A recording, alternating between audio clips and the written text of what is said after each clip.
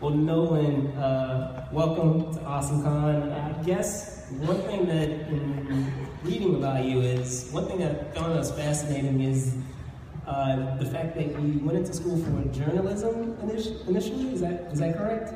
Somewhat. So, can you talk a bit about that and how that changed into pursuing uh, acting? That's, that's uh, yeah, you know, somebody asked me how I became an actor, and I said it was a process of elimination.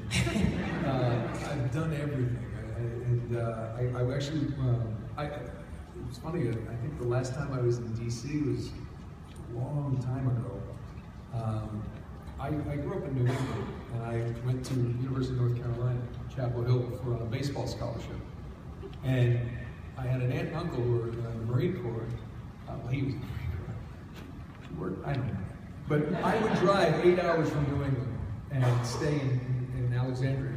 And we'd go out to dinner in D.C. because he was a lieutenant colonel in the Marine Corps. And it was really cool, but that was, and then back. So anytime I would go back home, this is where I came. But that's what I went to college for. Uh, I, I, just wanted to play baseball. And uh, I did kind of, my brother played uh, in college and had, had signed uh, a pro contract, but then he hurt himself. And I thought, well, if I ever did get hurt, um, you know, maybe Sports Center, you know, I could do that kind of stuff. You know, no, I don't think the park's big enough for that one. Two run home run by McGwire. well, uh, sure enough, I, I tore up my shoulder pretty bad.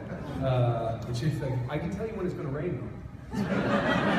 uh, and I went to grad school uh, in Boston because I was dating a girl who was at law school in Boston, and I was like, yeah, that sounds like a good idea. uh, and uh, did that, and just as I got my master's at a, a, small station in upstate New York, hired me on camera, which is unheard. And then they put me in Stamford, Connecticut. And then I went to New Jersey, and it became new branded RNN TV, and I covered all of New Jersey from Monmouth County North, which is like the middle of the state.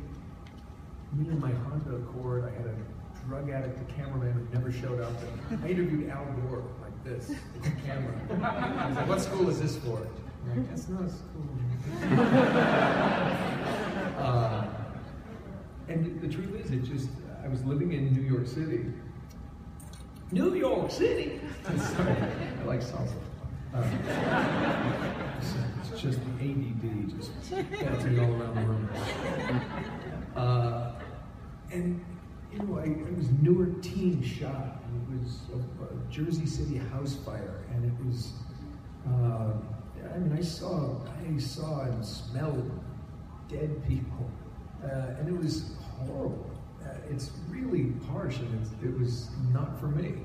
And I did it for about a year, and my, I can honestly tell you, my favorite story was when uh, Flintstone Vitamins got rid of the car and made Betty Rubble. I got to go do that. It's like, okay, and it was just, and I had a cutout and I did this thing. Clearly not, you know, Pulitzer Prize winning stuff. Uh, and I was in New York and, and I had done a play in, in college uh, after I hurt my shoulder my junior year, uh, right before the draft, I hurt myself. And then senior year, I sat out did a play because I needed an arts credit, and uh, so it was, and it was fun. And um, a couple guys on the team had uh, dared me to do stand up. We used to go to a stand up comedy club. And one night I got drunk enough to do it and did just a bunch of impressions and whatever I thought was funny. And I ended up being the opening act until my coach showed up in the front row. so anyway, New York, I started doing theater again. Uh, I, I, started doing some stand up and just, yeah, it was like I'd rather be broke and enjoy my life than, than have a measly paycheck and um, just be miserable. So did that for, for a little while, and then went to California on a one-way ticket, no plan B. Parents hate to hear that, but I had no plan B. Why? I, mean, I was 23. Who cares? Make your mistakes. And uh, it sells too, right? Yeah. that was a. Hey, don't, don't, don't say it. No, I'm gonna tell you something. It was, uh, it, it, was, it was, I was painting houses, uh, bartending, waitering, doing it, whatever I had to do. And uh, yeah, it was, um, I was up for a primetime Hawaii Five O. Was gonna now there's a successful one now, but they tried to do it earlier, and I was testing at the network for that. I was like, wow, is gonna be great. I was I think it was gonna be Daniel's son. It was really cool. I was like, this is gonna be awesome. And it didn't.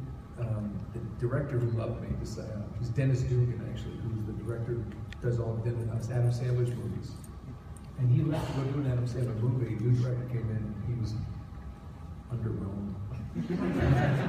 and uh, uh, so, so, and I, I, was up for that uh, Port Charles. It was a spin-off of General Hospital, and yeah, you want to pay me to go play make believe? Yeah. So yeah, I did that, and, and there was uh, five five years of just learning how to be a professional. It was it was, it was you know it's, it's my path. I don't know. And then and the funny thing is the guy who was on that was the guy when the show was canceled or euthanized, as I like to put it. it was a sick dog, you understand? Um,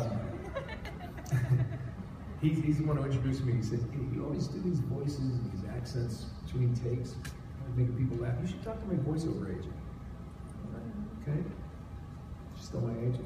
and it's, and it's, it's been great. on ride. So I, I learned a long time ago that sometimes you have to just, you know, take the oars out of the boat and just see where the current takes you rather than try. Oh, Especially if it's a girl. Oh, don't use the oars to get a girl. you're gonna you're gonna catch that. We're gonna run this boat analogy to the ground. Uh, uh, on, on the reef is what we're.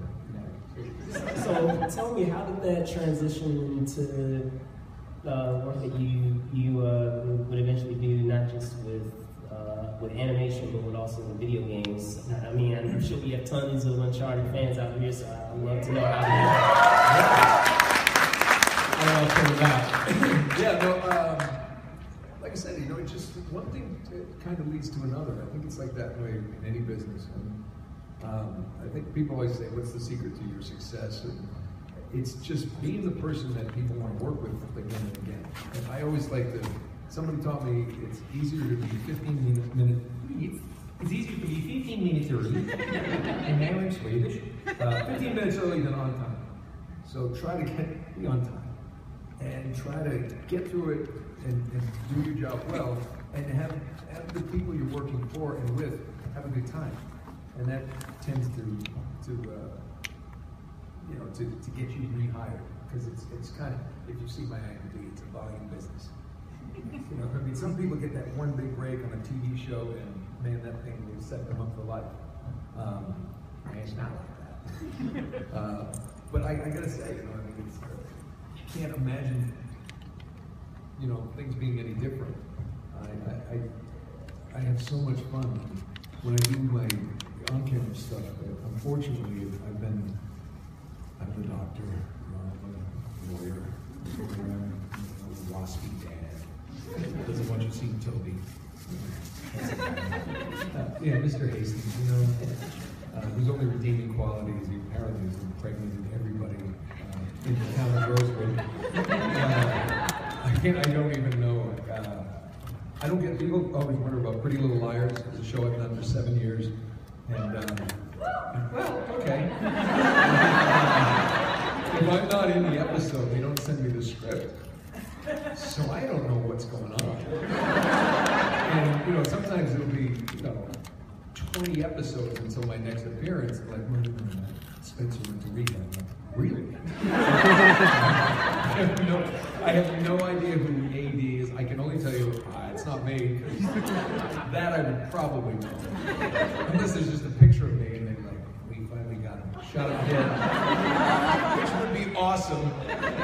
Um, so, yeah, so it's, uh, you know, Uncharted came along when the people I started doing more animation and, you know, directors of, of video games uh, start doing animation and then you, you kind of get into Nickelodeon. People really embrace me. I do uh, five or six shows now for DreamWorks, three or four for them. And, um, yeah, it's, it's been, you, you, can be anything. Whereas on camera, you're that guy.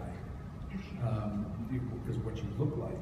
I mean, I can play any person, anything, any thing any color. Um, Phil LaMarr does white dudes, I've done black dudes. I mean, although Nickelodeon had a problem, they wanted me as Splinter. They said, no, it should be Asian. They're cartoons.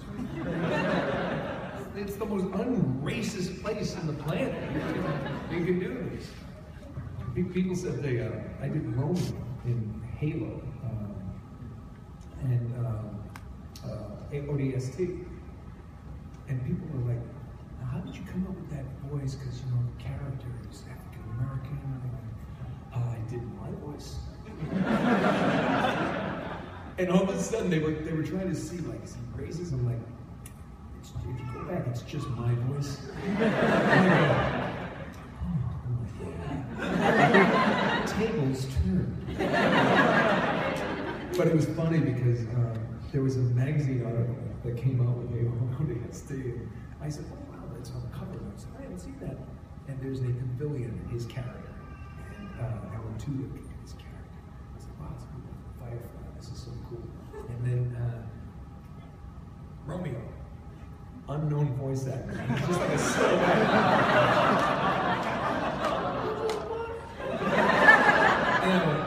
oh, they're worried about. Come on. So, um, but anyway, it's, just, but you know, it's the, business is just if you're just open to, to you know, any character, anything, creatures. I, I came home from a, a Nickelodeon cartoon, uh, and uh, called Breadwinners. And my yeah, Breadwinners, and my wife, she said, "What'd you do to one guy?" By the way, thank you, thank you. Later. And she's, she said, how's work? I said, it's good. She goes, it's a little, you know, little bit of a throat thrasher today. Said, what were you? I said, oh, I'm a Viking beaver. and I just went over and I stopped and I looked up and she's just staring at me. She goes, couldn't be more proud. And because you know him, Gunski. Yeah, that, uh, that was, I was, it was a massive Viking beaver. you you can't make this up. so yeah, and then, and then, uh, and, and great thing, so, so work begets work is kind of an adage. And one of my favorite things now is Con Man, uh, an on-camera thing with Nathan Fillion, Al- created by Alan Tudyk, uh, and uh, Alan and I were working a motion capture thing together, and I had created this guy, Jerry Lenz, and his pompous, the mocap kid. And uh, he looks at me and goes, I'm going to send you a script. Like, there's one role in there, just try, try that character in this role. And, you know, it's, uh, we have now a game, Con Man the game, where you make your own convention. You just went, you can now play it live on Facebook. Uh, just started yesterday, so I, I pitched that. But yeah, you know, we're hoping for season three. Season one and two are on Comic Con HQ, and you know, we'll see. But it's uh, so much fun. So it's it's just sort of like you start getting to know people. That's the best part of this business for me personally. It's just the people I know. You know, Khary Payton, if you're fans of The Walking Dead. I've known Khary for years. It was Aqualad, Justice. You did. Season three, yes, yes, it's happening. We've just recorded episode five. It's happening. It's for real. It's done. I don't know if I'm supposed to say that. so- Maybe, maybe I did that. Yeah, but Khary, now Khary's blowing up on, on that show. I know Mark Hamill. I used to, uh, used to dress like Mark Hamill. I'm you Star Wars. I remember you know, you you know these people. It's it's funny how the world just, you know, and I think that's what's great about the cons. It's like, I can walk up to Stan Lee. I stand there and go, hey, Excelsior. but I, I, I, my wildest dreams, you know, you can't, and, I so, so when I, I come to cons, I see people, and they're like so excited, and you know, they're, they're cosplaying, they're having fun. It's like, yeah, same with me. I mean, I've met people. Like, I was in Australia, and was really naked. And I was like, I had this doll. I also had it uh, a woman, but that was for different all right, all right. so I'm just keep going. You might have other questions. Curious, like,